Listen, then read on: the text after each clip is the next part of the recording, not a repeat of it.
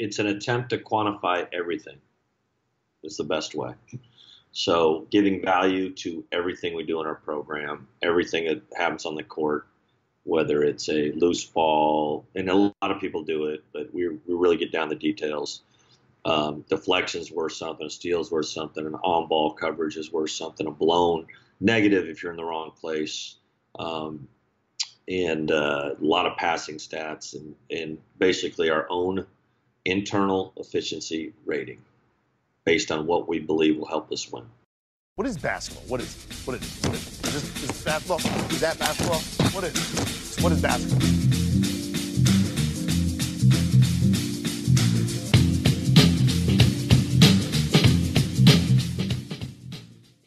Welcome back to episode seven of the Solving Basketball podcast. Today we have our second head coach that we've had on the podcast. This time he's been the head coach of San Francisco, the Dons, for this going into his third season. Coach Kyle Smith, thank you so much for coming on, Coach. Uh, no, thanks for having me. I also have to thank Jonathan Safir for your director of basketball operations for setting this up. I I'm not really sure what you see in them, him though. Why do you keep hiring him? you know, he's entertainment for first of all. A lot, lot of synapses firing between those ears. Not, not, not, not much direction, but a lot of, lot of activity.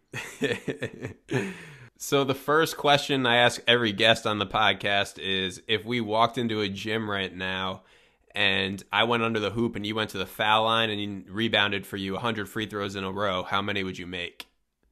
At this age, age 49. Yep somewhere between 75 and 79. 75 and 79, okay. I haven't done it so long, but I really, it's one thing you, you, you actually keep your shooting touch. One out of everything else goes, but you can you still make a free throw. I feel. right, right. And you played you played D three ball at Hamilton. I I looked it up. Fifty one percent from three, the school record, right? Yes, I could shoot. Not much else. I could defend a little bit, but wasn't much to it. I could make make a shot. Well, it's funny. I had the other head coach that we had on was Chris Jans, and he had almost the same profile as you. He played Division three basketball, and he set the all-time record, I think, for threes in for in D three. So three-point shooting it correlates with coaching, I guess. Did he go to Grinnell? He went to uh, Loras. Goodness, I figured someone at Grinnell had to have the all-time record, but anyway. Well, I, am sure it's been broken. I'm sure it's been broken, but at the time it was it was the record. Yeah. Okay, fair. The first thing I want to start talking about is recruiting. You were just on another podcast called the Stat Chat podcast, and you had a comparison about a recruit you had at St. Mary's that I wanted to bring up. Omar Samhan, who's kind of like a college basketball cult hero. You compared him yeah. to to like Moneyball, um, and how he didn't really look the part. Billy Beane's famous line in Moneyball is, "We're not trying to sell jeans. We're just we're trying to win baseball games." Um, so, what was the story behind recruiting Samhan? Uh, you, you made the mistake, an origin story. I can go right back to the beginning. Uh, well, uh, Omar was a guy that's probably about 30 minutes from our campus. Um, and so we kind of had a, someone had told us about him, didn't know a whole history. I go watch him as a junior, and he is, you know, a lot of those big kids can be really doughy and he's just sloppy as can be. He's probably, at that time, he's probably six nine 280 pounds, and he's probably grown or whatever. He's he's got got long arms, whatever. And I go and see him, and he he contributes zero points. He actually got shut out in the game as a junior, and uh, but he had like 16 rebounds. And Randy asked me, "What'd you think?" I said, "Well, he didn't score, but there's some things that are, you know he's he's got got a chance, maybe yada yada yada, and that's." Several. So goes out in the AAU that summer, and he really looks like what I. You'd have to be my age. You'd have to watch a lot of Popeyes cartoons back in the day. Well, like one of those guys with like a sandwich board or like a barrel. He just looked like a guy who was in a barrel and had these little legs sticking out. So just this horrible looking mess. I can say that because I love Omar. Uh, but it, that summer, and like the big guys in the AU stuff don't. They just basically run top of the key, top of the key, unless they're pros the pros stand out that size. So anyway, he basically had very light recruitment going into his senior year, and uh, he wasn't a great student. I don't know if that's, but uh, whatever. I don't even think that factored in too much.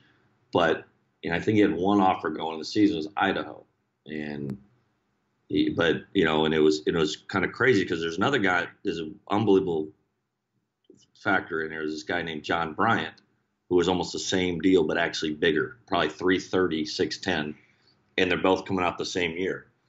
And I was, uh, Omar knows this, but I was kind of in the John Bryant camp, but I was kind of overruled. If we're going to take one of these freak shows, we're going to take. I'm putting my ballot on this one. Neither one of them getting much recruitment. And we actually had two seven footers in the program, and our rule was we're not taking another big guy. And I was, we're both, we're all, all the whole staff. Lamont Smith was there, Randy Bennett. We were like, I think both these guys are good enough, but they weren't getting recruitment. It just takes those guys a while, and neither one of them looked looked the part at all. They couldn't get up and down the court. Yada yada yada. Both have great senior years. Santa Clara goes early, takes John Bryant, and uh, and late. And actually, Omar originally committed to San Francisco. He didn't get enough classes. They ended up not qualifying, and we're lucky lucky to have a scholarship available. And we kind of knew it, he produced. He had like 25 and 12 as a senior, and we're like, we just got to do this. And that's we just kind of were fortunate to have one open. He actually had to go to junior college for a semester to qualify and enrolled at Christmas. So he looked funny. He had some great issues that he shouldn't have. It was just an oversight, and eh, and he produced, and those a kind of deal, and got in our program. So he kind of, and that's once he got in our program, he just we kind of knew he, he, was willing to work. He had a great work ethic, and and within our system of stats and that he he he was kind of incentivized by it and kind of shaped, and his body's changed and everything, and and he turned into like I said that cult hero, and, and it really didn't pay off till his big time. He's always pretty good as a young guy, but he's hard to win with. But his fourth and fifth year, he's probably his fifth year is probably the best center in the country, and his fourth year is really good. So um, that's kind of the story. I, he played in the basketball tournament TBT this summer, and he looked like he was in pretty good shape, actually. So I don't think I don't think he has that same body anymore. No, he's he's he's ninety pounds less than when we had him. Amazing, and uh, he actually looks like a long, skinny four man now. Yep, and it's funny, and that's kind of he's made a pro career, and he's had he had a torn ACL when he was young, but uh, um, he has changed his whole his whole look, uh, and he's more skillful, and he's managed a, a pretty healthy career. But he was uh, definitely a fun uh, college player. Do you think that type of recruiting model, like finding the diamond in the rough, odd fit, do you think that's a sustainable way to win um, at the at, in college basketball? I'm not sure. It's a great question. I've kind of built an entire career on it. I guess I mean, I, and I mean that like in we won. We got to where we won pretty big at St. Mary's, and it was partially that, partially other things. But that was kind of my my niche was to always try to find make that value pick or whatever. I, I um, and it's it's more of a psychological thing. I don't like that. I, I like, and we like that, that. We want guys where we're at. Like this is their destination. Like I'm choosing the school. This is my, and basically your biggest offer. It's just kind of the deal. But in trying to find value in a guy that's going to grow into that and become good, as opposed to going through the whole competition and begging and pleading and, and trying to we're we want guys that are thankful where they're at. So I, I, think that's part of the deal. So I I think there are coaches that do it. To be honest, I think John Beilein is probably the best example. of doesn't care on the rankings and gets the right guys that fit his program. Obviously, he's got Michigan in such a place where yeah, five star guys want to jump in, but I don't think that was always the case. And he's willing. I know he's willing because we were bumping heads when I was at Columbia. He was recruiting like DJ Wilson. He visited Columbia, Michigan uh, that usually doesn't happen.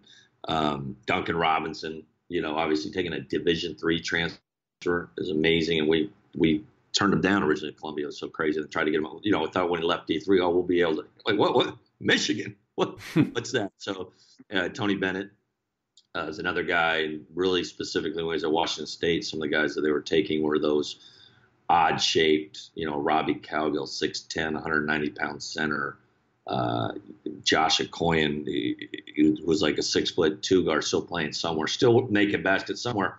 And then, ironically, Tony got rid of him, or he let him go after his sophomore year. He was their leading scorer, and they took off. It's just like, so I think those guys uh, we studied pretty hard. Randy's obviously another example.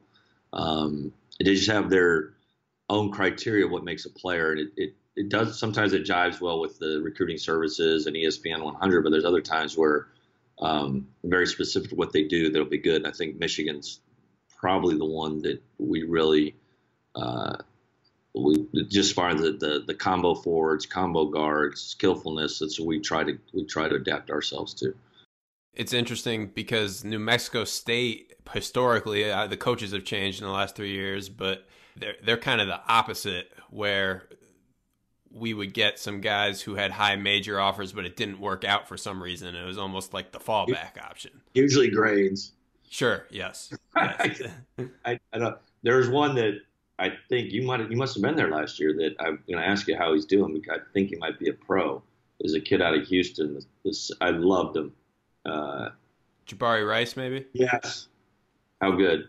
Yeah, uh, he so he was a prop kid. Yeah. He couldn't practice with the team last year, but he was there. He can really score. He can really score. Yeah, I think he can pass too. Yeah, I think he, I think he's awesome. Yeah, that's a great example though. Yeah. No, that's. I think that was the deal with. I think Utah State, New Mexico State have a couple advantages on those kids, right? Am mm-hmm. I wrong? Yeah. Yep. Get, yep. So I think there's a there's a what do you say an efficiency in the market where they've capitalized on uh, being able to utilize that piece to in New Mexico State's ever will be good forever as long as they're able to do that. I think.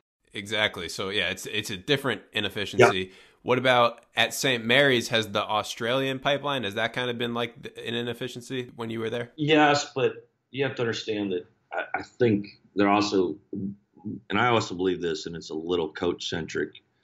I think uh, if given the right support and it's not financial necessarily. I think you just let guys work. I think coaching is really important. I think they're it's a combination. They're finding inefficiencies, and I think uh, Randy's a coach's coach in that way. Like he's he's gonna be good. He's gonna be really good wherever he's at. I think a little bit. He's just competitive that way. Um, in addition, I think the Australian thing was something they tapped into early, and then it, it became their brand. And uh, mm-hmm. and sticking with that brand. So everyone found they found a niche there and uh, and still riding it pretty hard. Um, and uh, same for us when we were at Columbia. Uh, I thought it was we you know I was there six years. It took a while to figure out, but the international piece was good for us. And then I think we were starting to go down south. Actually, made more sense for kids like around the Atlanta area or even Houston area, Florida area, where um, they not really going to feel New England, you know, like where Boston's the center of the universe, so, but they like New York, you know, and, and uh, so things like that. You have to be, explore what, what what what makes your school unique. Do you think athletic directors consider this part of it, like the the efficiency of recruiting and how the coach will relate when they're making their hire? No. no. I, I, uh, I interviewed twelve times. I pitched the same thing all 12. And I finally took Dianne Murphy for the grace of God. Uh, and who knows whatever she she she kind of stopped halfway through the interview and said, "Yeah, this is what I'm looking for." Um, so I remember my first interview. I won't name the AD or school, but I felt like I did really well, and I, I'm still pretty confident I did pretty well. And I know I was speaking Spanish to them, and I was talking about the, the, metrics and talking about how we use the metrics in our practice. And we also use this in recruiting. And it's just probably highly analytical, but I was like, he told me in my thank you note, my punctuation was bad. And I was like, I, I do not want to work for this person. But I'm still still mad I didn't get it. But I was like, that's what that was your offer of advice. And I, and he started telling me this. I said, you know what? I might have come off a little folksy or a little whatever, but I, I feel pretty confident that you got a great picture of what it was going to be like to have Kyle Smith coaching your basketball team. So I, I don't I don't have any apologies for it, and and it's okay. It's the same as recruiting. It's like I'm just not the right fit for what you're looking for. So, but I don't think, and not saying I just I just don't think. I think they're more ads are influenced by agents and other higher profile people, alumni money. Uh, their alums are writing checks, so they. I think that's what they're really influenced by. I don't know if none of enough of them have enough courage to say we're going with that guy because he's he's an analytics guy. He's a this and that. It sounds popular now, but I think still, if you know a big name brand name program is endorsing that, I think that takes that AD off the hook. If no, I mean, if John Calipari saying, "Hey, this guy's going to be the next such and such," I think that goes a lot further. Um, it just and I understand. Like I don't think the ads those are big decisions for them. They have to make them. Hopefully, not that often. Um, and if they can, you know, not upset rock the boat, I think that's just human nature. I think if they're not rocking the boat with alums, the people they report to, and you can sell to the players in the program, um, and that aren't necessarily the the real grit, the detail, then I think they feel like their job's done, and and that that person works. So I, I do think. So when you say that, like, I think it takes a very skilled, shrewd, and there's not enough former coaches that are in the administration anymore. So I don't think, like I said, like you look at Randy Bennett's tree, he some really, uh, take myself out of it, but you know, like Eran Ganot won an NCAA tournament game in Hawaii. Uh, Rick Croy's done really well at Division two at Cal Baptist. Um, David Patrick's now at UC Riverside. Lamont Smith did well at San Diego.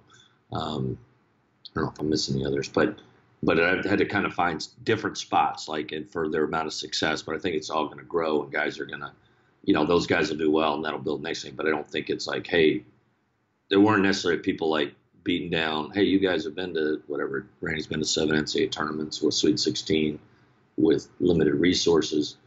Um, what's going on there? Uh, that was never. It was we, we we all learned we had to you know just do a good job and hustle for your opportunities. Whereas you know guys guys are assistant at Cal or Stanford or it, it sounds pretty and it's good. I mean there, there's some value in that. I haven't been there so I don't know, but but I just you're I think that's really attractive for an athletic director to hire someone off those staffs as opposed to like just really getting down like here's here's a hat. It's more the I really think that have St. Mary's a, a bit of a have not resource wise compared to others. So like how are they doing it? You know, I think it got more people fired in our league because St. Mary's was doing it with very little, as opposed to like, well, maybe they're doing something like they're doing without this, that, but they're doing something. So, and I don't know if that enough ads. there's some, but like, man, they're pretty good. Well, it fits with what we've been talking about with inefficiencies. I guess it's an inefficiency in hiring. Yeah, I don't. I don't know. Uh, there's yeah, but I do think, and there might be some things that are intrinsically better there that aren't necessarily money related. Last recruiting question before we switch gears with St. Mary's and Gonzaga in the conference currently at, at, with your job at San Francisco. Did they affect your recruiting? Like knowing Gonzaga is always going to have a couple seven footers, it seems like, and St. Mary's has a lot, a lot of bigs too. 100. Unfortunately, it's uh, and don't don't don't exclude BYU. Um, yep. Because uh, they have, like I said, their niche is pretty special. They have a growing faith where where they love that every every Mormon church has a, a basketball court there. So they, you know, that that's a pretty unique one and a good one too, and a, a lot of resources and uh, a facility that has 21,000 people to fill the stands. So you're dealing with, and I think uh, in order of number of tournament appearances, it goes for coaches. Mark Few one, Dave Rose two, and then uh, Randy three in those, and you know how much success they had. So you're dealing with three programs that all play different style, but a certain style, and uh, so our recruiting was was attempt to try to not get in their lane a little bit, if that makes sense. Like so, our style of play, the way we want to play, is going to be different. So we'll be recruiting differently. Um, that's the goal, and because I'm like hey, they do a pretty good job recruiting and they're good coaches. So I, we could do a great job recruiting the same players, do a great job coaching, and maybe not impact or move the needle there, if that makes sense. So mm-hmm. it, it is a for sure a calculated decision. Um, like I said, we, have always kind of been in a situation where we did it at St. Mary's too with Randy. We changed the way we played, and he's changed another way. He, he's kind of morphed it too. Um, I think he's pretty set in the way he's playing now, and it takes well, you know, you recruit to it, and then you know you'll recruit a certain way, and then you're like, well, we need more of this, and then you look at your team two years later, like, well, oh, we overcompensated. We we have to change the way we're playing a little bit, but definitely the way we're. I think ours probably kicks in more next year. What we've been recruiting to, we've been doing with, you know, skillful guys, maybe late bloomers that will impact as they get older. So you mentioned style of play a little bit, and that's what I want to get into next, specifically on offense. Uh, so you've predominantly been a pretty Princeton heavy offensive coach. So it's an, an offense that's lasted. So like the triangle offense takes a lot of criticism. Uh, whereas the Princeton offense is just as old, I guess, but it's still pretty prevalent in college basketball. So, what about it has like translated to the modern game? I mean, you see it in the NBA. I mean, I laugh, I giggle when people they love to use it against us in recruiting. They play Princeton. I'm like, well, that's what the NBA does. I don't know if people remember the Sacramento Kings with Chris yep, Adelman, Vlade, and they're and and and Pete Carril sitting on their bench and Adelman. And they're just they're a fun team to watch. And I think it's. Uh, and really with and it's funny because the team we inherited, we were big on culture and they embraced it, but they weren't recruited really to play this style. So it's kind of bit we've been fitting a square peg in a round hole, but it still I think gives us our best chance to win. And the idea is to find guys that can we call them six tool guys, dribble, pass, drive, shoot, defend, and rebound. And they're hard to find, but but especially in those offensive skills, being able to not having a certain proficiency in those offensive things is really valuable. And and like I said, we I've been preaching it, and, as a coach at Columbia here is that the three pointers worth, worth too much, and the NBA's figured that out. And I think it's an ugly game to watch a little bit when the ball's just kind of casted up there all the time, but it makes sense. Um, and we probably run a little more stuff than others, but but the floor with that with the shooting and the skill. Um, and really trying to uh, create more uh, abilities to get to the basket. That's your most efficient way to score is to get to the foul line. Um, and you know the Rockets obviously made a living off of it, and it's kind of gross the way they play, but they're just smart in the sense that like when James Harden gets fouled, he's an unguardable force, and he can really pass. So get out of his way. Um, so we have a guy like that. we'll use him similarly but like disguise it a little bit sometimes. But they don't even they don't make any bones about it. They just say we're we're going this way. So um, it's just and it's and anyone that's ever played in the offense, every every decision creates another decision, and every decision you're you're able to score. Um, so we're looking for guys that get that, understand that, and it takes a certain feel too. But um, and you don't always say you don't always know till they're here. That that's the tricky part to really put them in the system of those decisions, how many would you say are reads versus calls? Mm, almost all reads. Ninety-five percent are reads. Um, and I don't even know how coaches that coach and make a call every trip down the floor. Whenever I try to call something, our guys don't even hear me because because they're not used to it. And, and usually we've had, I think, I want to say, I think it's going to be my ninth year. I think I've had eight straight years of an all league guard and we really play out of his hand. And like like for this, like Ferrari was last year, and he came on. Um, we kind of call him Brett Favre because he's kind of a gunslinger out there, and he'll he'll see something, he'll call, he'll he'll, he'll roll with it. I, I'm like, that's better than anything I'm coming up with. That's how I said he's out there. He's had so many reps in practice and knows what we're doing. He can move pieces around um, and make plays. Sometimes he frustrates me, but I probably should be a little easier on him. I'm putting a lot of a lot of responsibility on him. Um, and that's kind of how we played. We had Maodo Lo and Grant Mullins at Columbia, and they were just as they got older, it's just it's just get out of their way a little bit. You mentioned Frankie Ferrari, and to me, I, I haven't ever been a part of a coaching staff that ran Princeton, but to me, a ball dominant, playmaking point guard is a little counterintuitive. We played against Air Force a couple times, and their point guards tend to not be high assist guys, but Ferrari was was I think top 50 in the country. What's that like in, in a Princeton system incorporating someone who's ball dominant like that? You know what? We stole a little bit from, uh, uh, really, we call it, we've been trying to get a good name for it, interchangeable or, or the mesh, which is really half, a lot of it's stolen from, from us. It's really from my time at St. Mary's. Um, and that's where McConnell, Dellavedova, Patty Mills, Todd Golden, uh, Carlin Hughes. So a lot, that's a lot of it. And those guys are ball dominant. We we use a lot. So a lot of our starts are offense. A lot of our finishes are offense. End up in the same thing that like uh, St. Mary's is doing. So that's why I'd say like the ball dominant guard, not not a problem for us. Um, we like it in St. Mary's. We have, we'd like to play the two point guards too, um, if we can. Two two really good decision makers. So um, take some of that burden off them. But uh, and also, like I said, Richmond has been doing it with Chris Mooney's been doing it. Uh, mm-hmm. We had Kevin Anderson, and then he had Kendall. What's his name?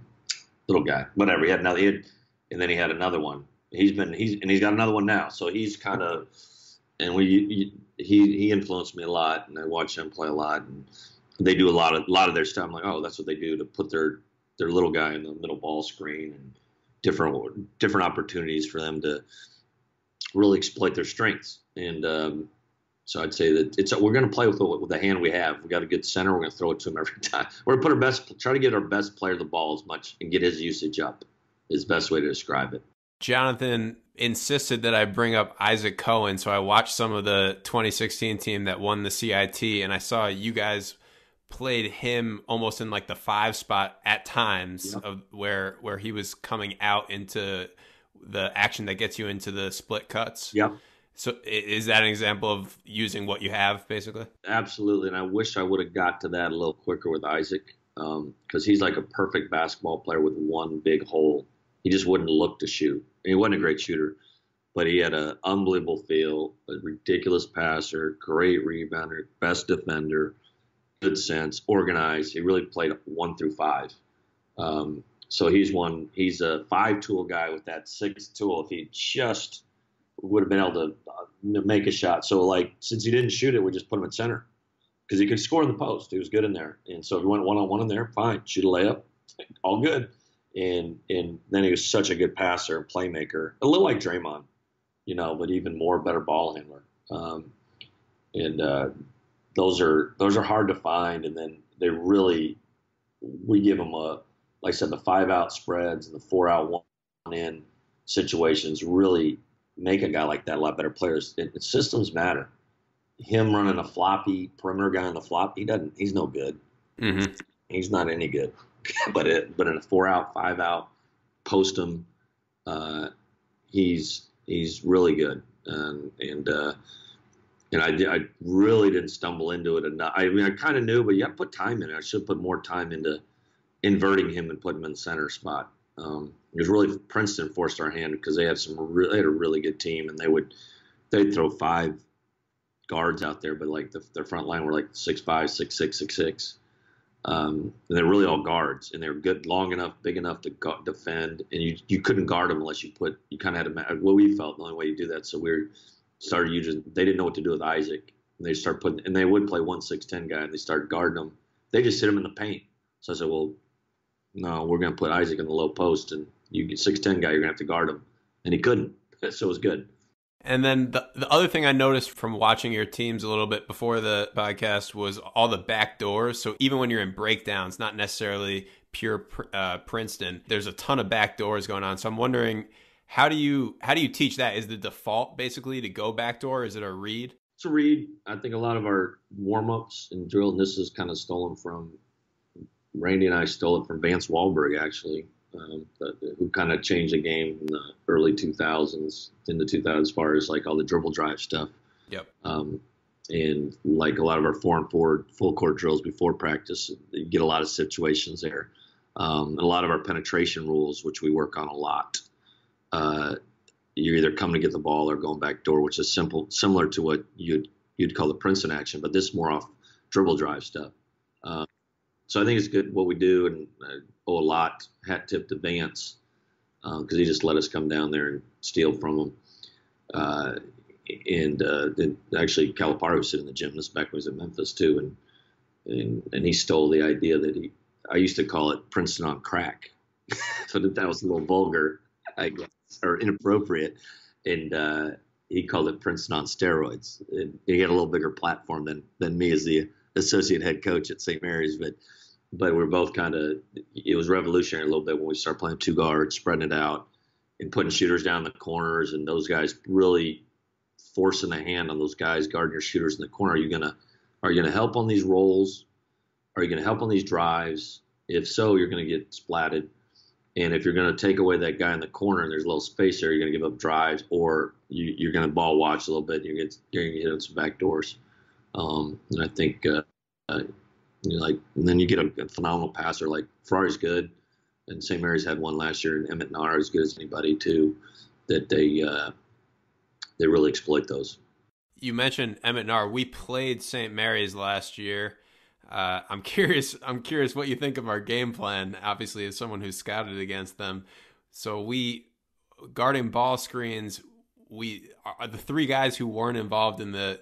By the way, they they killed us. They scored 92 points and like 1.4 points per possession, so it didn't work out. Yeah. But uh, but guarding ball screens, the three guys not involved in the ball screen had no help responsibility. So we completely uh, gave it to the guy guarding the screen to get through, and then the big just had to keep retreating, not let Landale behind him, but try to provide some support. Is that? That's not terrible. I'm surprised you gave up 92. Yeah, I, I think it's I think with him, his nature is to make others better. So if you're in rotations or helping, you're he's going to carve you up. And but he's also his favorite guy was Landale. So if you're kind of playing them both one on one, you might be in trouble. Um, you have to find some way to not let him hit the roller because he's phenomenal. Right. I think I think it made sense theoretically. We had a small point guard who was oh. guarding oh. there, so that that hurt us. He could she shot over him. We we made him a shooter. We you know we didn't want him to pass. We made him a shooter, but he just he hit shots. Yeah, he can score. So it's like it's not what he wants to do. Doesn't mean he couldn't do it. He's a good player. So I think you're onto something a little bit. You're going to pick your poison. They they were I think they're one of the most efficient offensive teams in the country. The last two years, I think they've been. So yep. you, you you might have been guarding the right way, and they just at home they can. I mean, they beat us. They blistered us at their place. Um, and and uh, you know what? I, I watched that film and like we started off okay, and you know like Krebs had like three bombs. That, you know we were playing, and it's like we got down, and then they're just they're you don't want to get down to them. They're pretty tough. Puts a lot of pressure on you to score, and they're pretty good defensively too. For sure. All right, so the next thing I want to talk about is your hustle stats. So sure. this this is a pretty analytics heavy podcast as is. Um, definitely want to cover this. Can you give? I I listened to your podcast where you explain the system, but can you give a basic overview for the listeners about uh, what the hustle stats are in relation to how you coach? It's an attempt to quantify everything. Is the best way. So, giving value to everything we do in our program, everything that happens on the court, whether it's a loose ball, and a lot of people do it, but we, we really get down the details. Um, deflections worth something, steal's worth something, an on ball coverage is worth something, a blown negative if you're in the wrong place, um, and uh, a lot of passing stats, and, and basically our own internal efficiency rating based on what we believe will help us win. And how is that determined? And does does that change from season to season? The the what you believe will help you win. Yes, we can tweak things. We got to be careful and not because it's kind of been trial and error for about 20 years of doing it different level, different things, and experimenting on what the values are, and, and always, and without fail, when bring someone new on staff, they'll always come up with uh, something like we need to make rebounds worth more. This seems to be the one. Rebounds need to be worth getting the ball needs to worth more. And I'm like, I totally agree. However, we've done that before, and we eroded our whole integrity of our, our rebounding system. So, uh, so I don't mess with it as much. We shave it here, shave it there. Always um, flirting around with certain things, but uh, you know, and we try. We got aggressive last year, trying to help our get our more, like I said, our offensive, uh, you know, with our offensive running, we want to create more opportunity for them to get more value of the passing and scoring. And, and we were horrendous defensively earlier in the year. So I was like, back to the basics this year, and hopefully we'll, you know, be careful. Uh, you know, it's pretty solid. It, it makes our program, uh, you know, we're really just trying to get our, uh, make us hard to beat by defending, rebounding, take care of the ball. That's the best way to describe it in, in that podcast, you said something that I loved. You said when you incentivize something, you lose something else. You don't necessarily know what that is. But I've done I've done some research on teams that are really good on one side of the ball. So really good on offense, not so good on defense, and they return everyone the the next year. Yeah. And you would hope that they can get better on defense, the side they're bad at, and maintain the offense but it's really really hard to do so obviously the coach all offseason is emphasizing defense they usually make the jump but their offensive efficiency now decreases no question i think actually the first coach i ever worked for had had a great uh, old school. I'm still co- all the numbers are there. I'm still coach centric. Hank Egan, who's kind of started the whole getting guys in the NBA from the University of San Diego. He said your offense has to match your defense, which is unique in this sport. It's not football. You um, you have to have two way players, and if you have sometimes and they each your best player will impact the other four on the offensive end, and vice versa on the defensive end too. So um, I think that's some of the deal. Uh, and I agree with you. Like you'll see some. That's where I think like the inefficiency in KenPom is so offensive centric, and I think coaches that I don't I don't like giving this one that really study that. There's a few that I know that really look at that, and they're like, we should be good. We got the you know we got a 120 rating and a 22 usage. I'm like, be careful.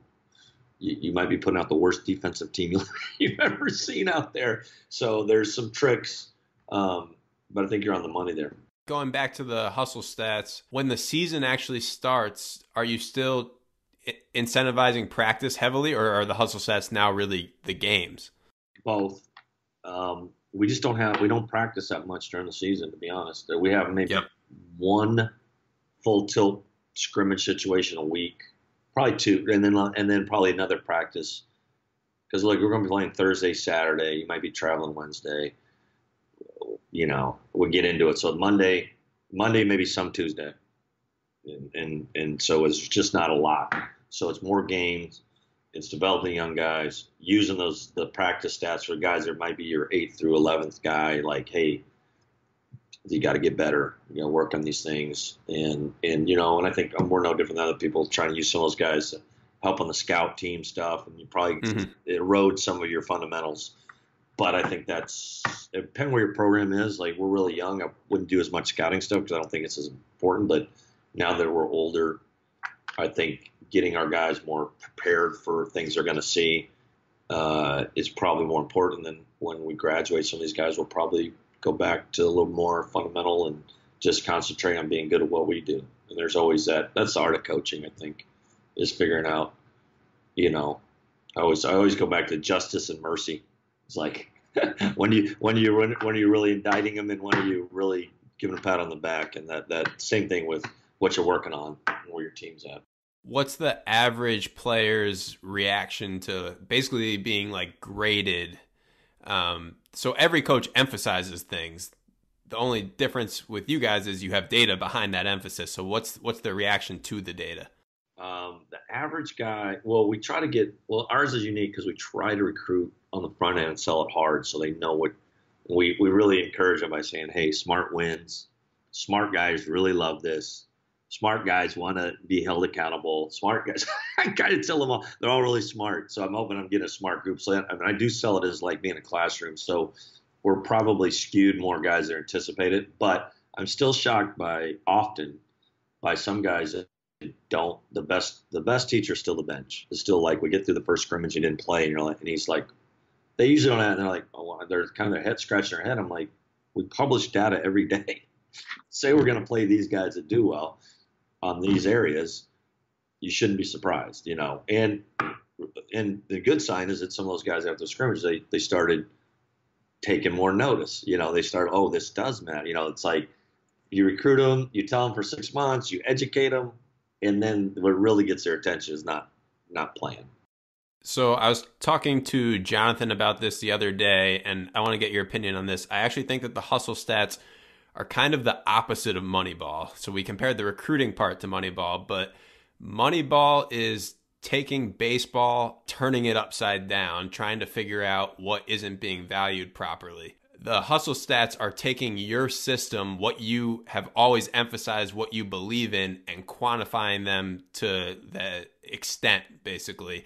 So, have you ever thought about using all that data like missed box outs to actually look and see well how did how did that at the end of the day affect our rebounding? Or how did allowing a guy drive by us affect our defensive efficiency? Something like that? I, I missed I think we lost a connection there. I missed a little part but I think I got the gist of it.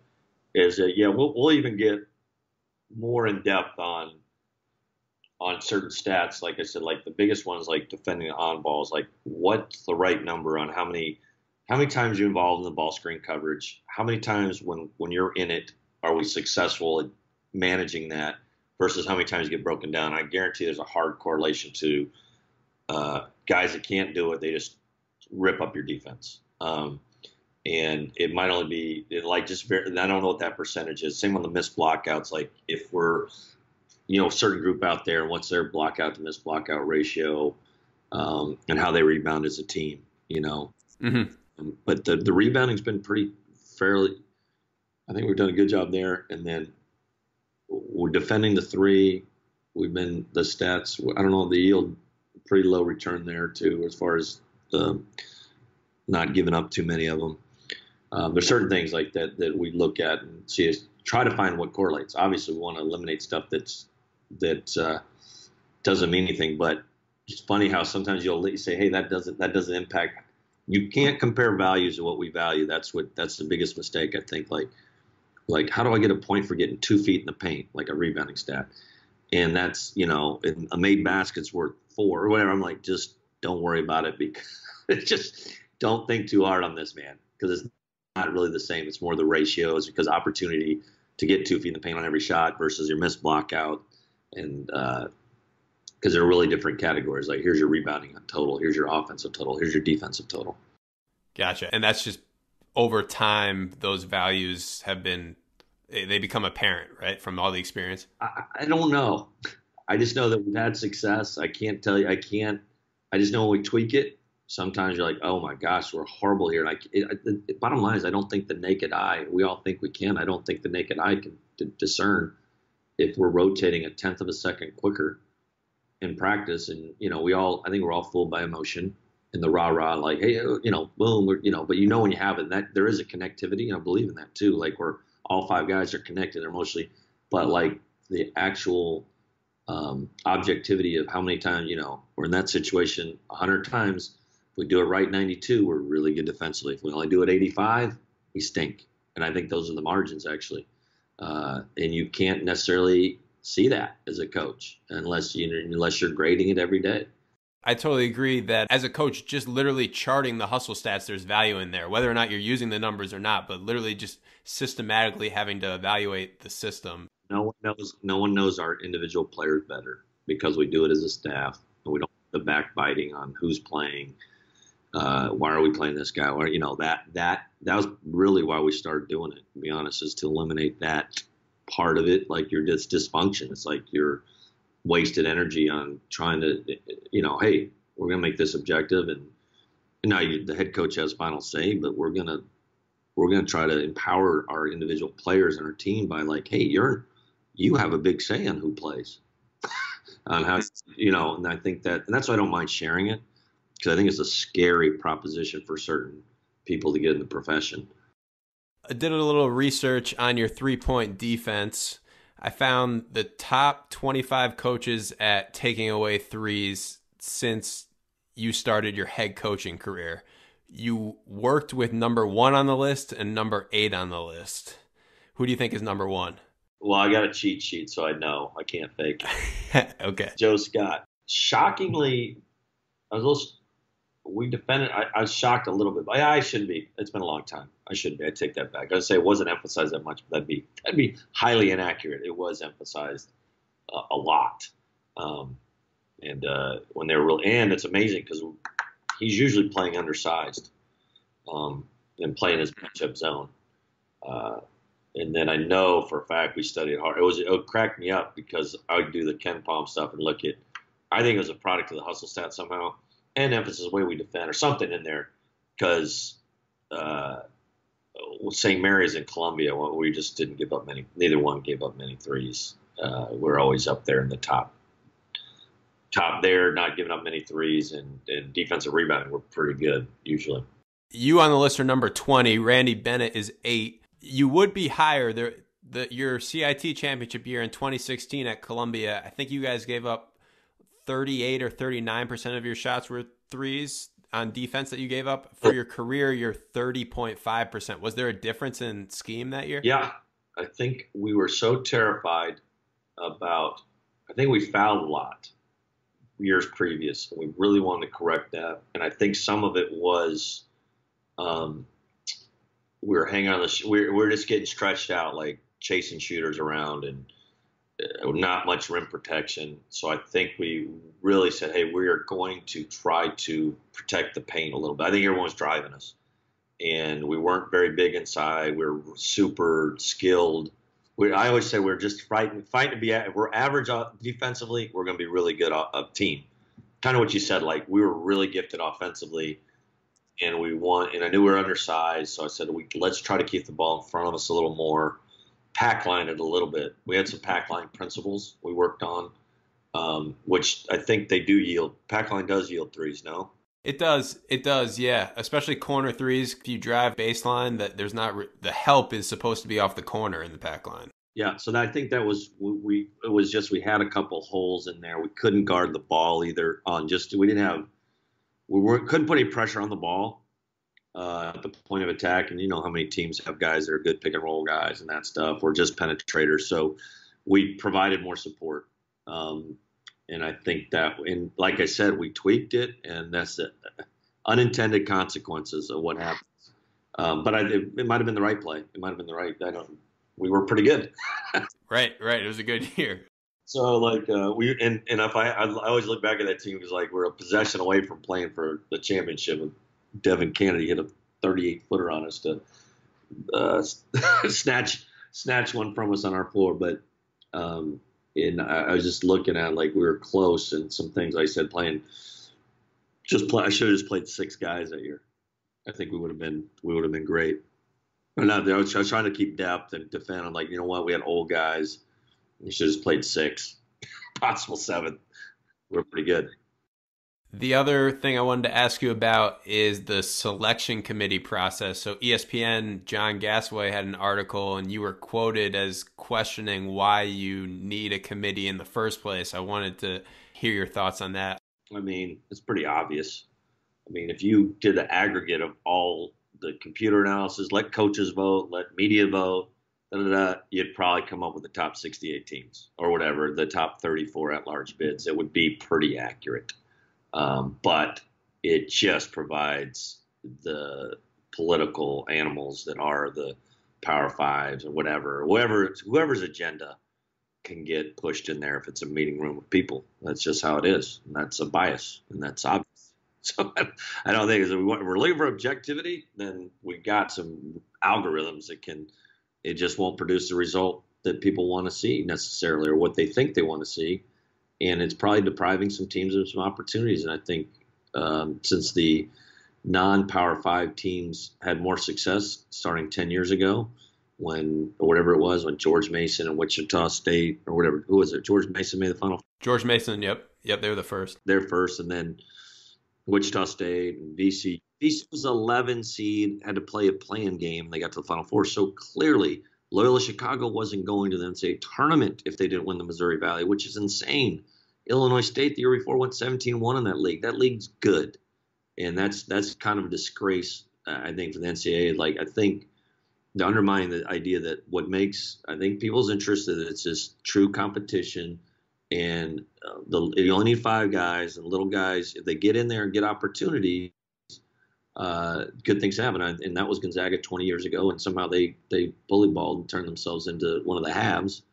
And they don't. I don't think they have the same criteria as other non BCS leagues or non Power Five leagues. But that's good for them. But it's like let let's bring some objectivity to it, or figure it out, or what's the criteria before the season, so we can prepare and coach that way. And and you have to be willing to step on some toes and some, you know, whether it's the TV people or whatever. But that that would be that would be, you know, that'd be nice.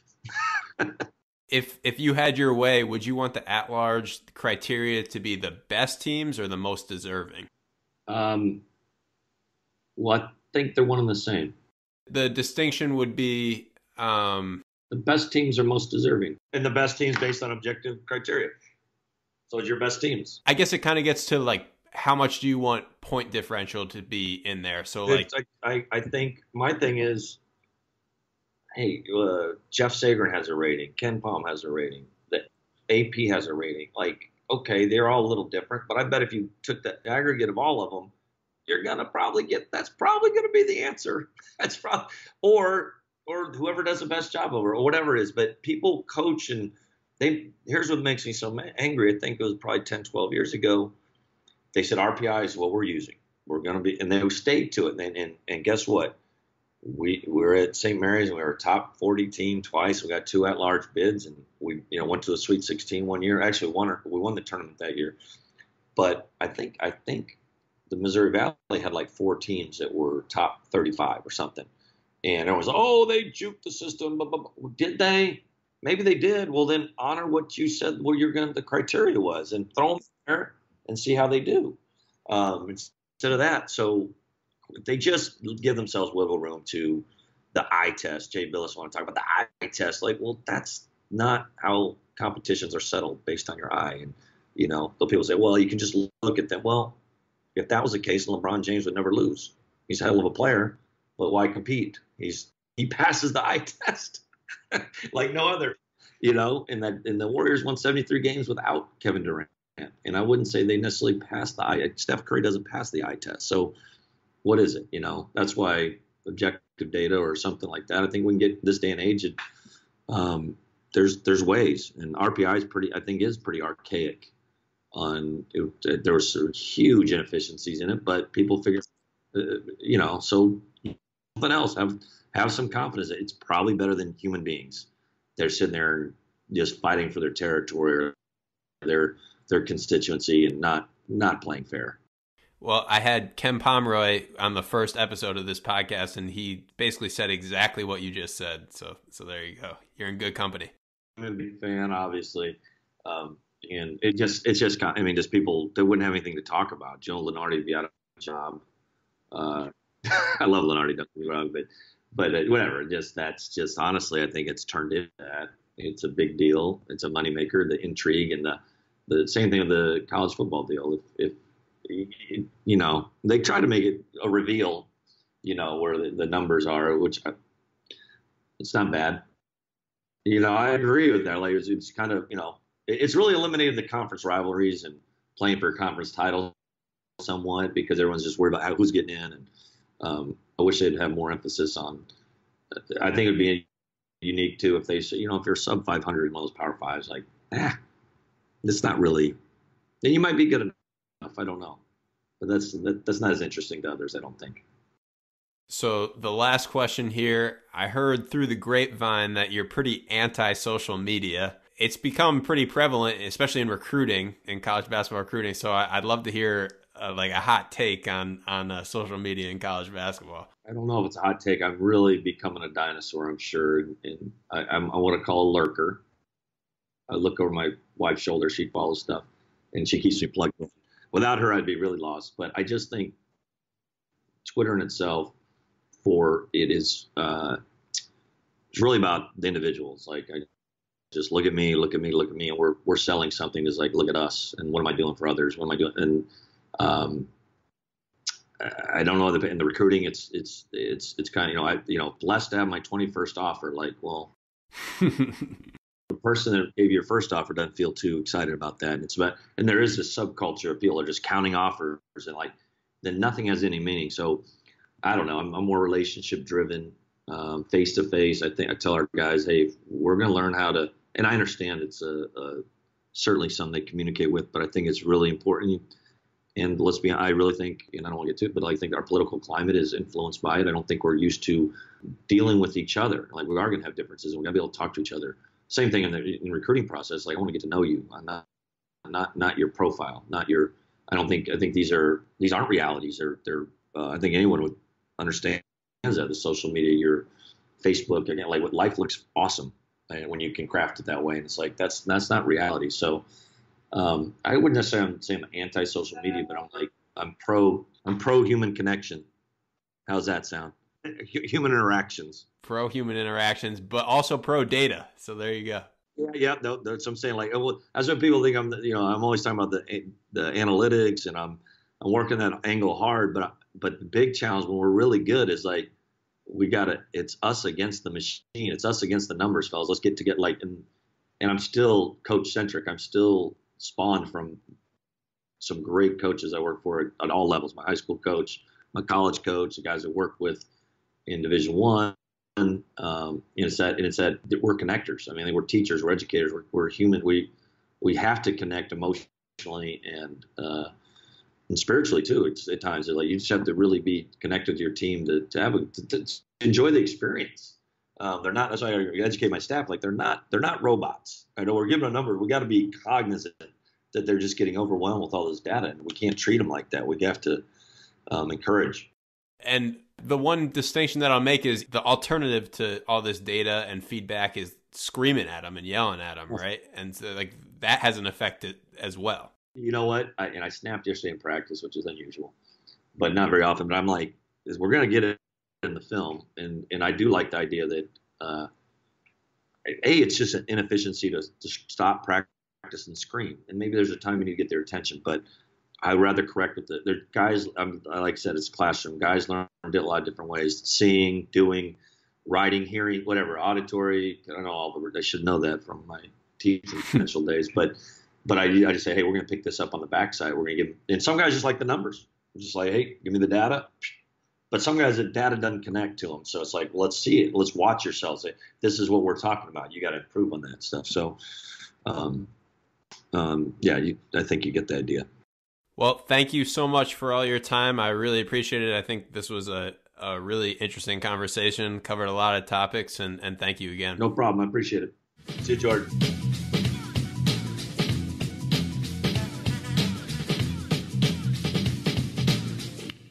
No hand checking Michael Jordan, Scottie Pippen, Tony uh, uh, Kukoc.